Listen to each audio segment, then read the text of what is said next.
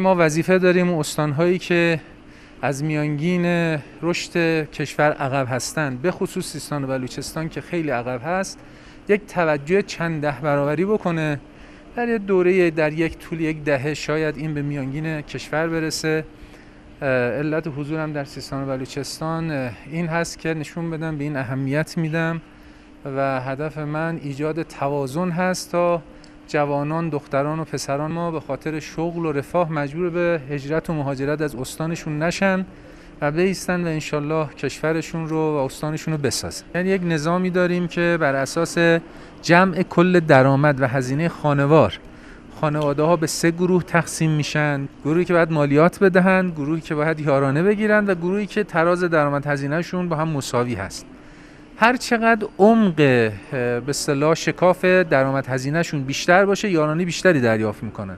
و هر چقدر درآمدشون بیشتر از هزینه هاشون باشه مالیات بیشتری پرداخت می‌کنن. ما برنامه داریم با اجرای 213 پروژه‌ای که در کل برای مجموعه بخش اقتصادیمون داریم تورم به زیر 5 درصد برسونیم ظرف 4 سال انشالله